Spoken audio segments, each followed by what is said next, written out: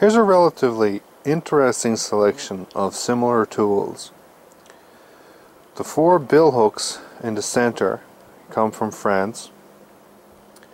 Various different styles. I'll have more information on them in the description. The one on the right is a very similar tool from Japan. The one on the left is a Fiskars interpretation which is used in uh, Canada and the US. And one down the bottom is basically a very heavy machete pattern from cold steel, which takes a lot more blade and a lot less handle, but overall is a very similar sort of uh, intended tool.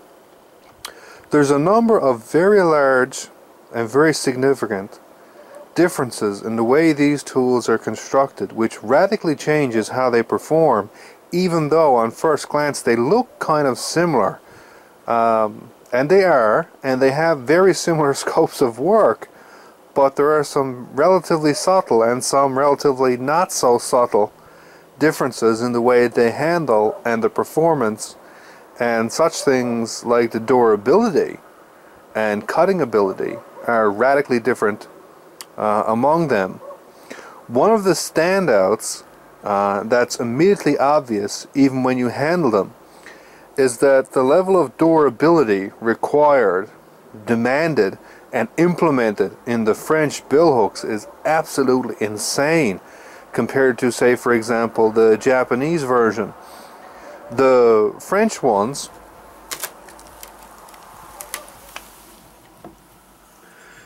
start off down by the base of the blade at over a half of an inch thick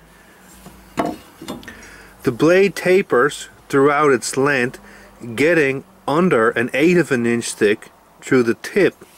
It's a full tang, but peened to the bottom on all of the handles. All of the blades are subjected to extremely heavy use during their lifetime. You can see that the spine of this blade has actually been peened down flat. A piece of it was took out right here and if you look at the edge it's extremely ragged. Like this was used extremely heavily. And such is common throughout the lives of the bill hooks. You can see even here on the second one again the spine is all peened down flat. And it has a handle made out of suitable for Andre the Giant. It's absolutely massive.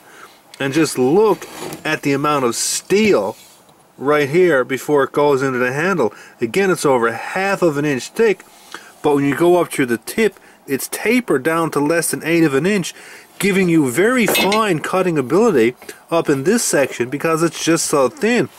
But you retain the ability to do some very heavy chopping and splitting down here because you have a stronger wedge profile. These things are pretty much on the high side of indestructible because of the amount of steel and construction, the only thing that tends to happen to them over time is that you get splits in the handle, which is relatively common because these things last so long. If you look at the blades, just look at how much steel is in them. I mean, generations of people could use and sharpen these, and there would still be enough steel there. But you can see again, if you take a look, you can see a split in that handle right there and you can see a much larger split in the back sides. Now you also have integral ones like this which basically take uh, can go on poles or halves to make them even two-handed but they can be used around the integral socket handle with no problem whatsoever. You'll notice quite a bit of difference in the hook pattern like watch this one you can see which is almost like a 90 degree in comparison, you can see how much more rounded this one is, which compares very well to the Fiskars. Much more gentle. But now if you look at the Japanese version, see how it's almost much more perpendicular, which compares well with this style of the French one.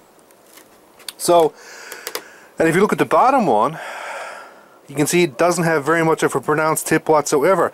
Again, that could actually be worn off in sharpening.